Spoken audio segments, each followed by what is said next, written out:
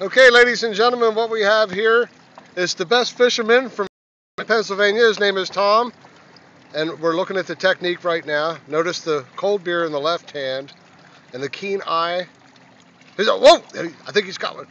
Fish on! Fish on! He's got one! He's got one!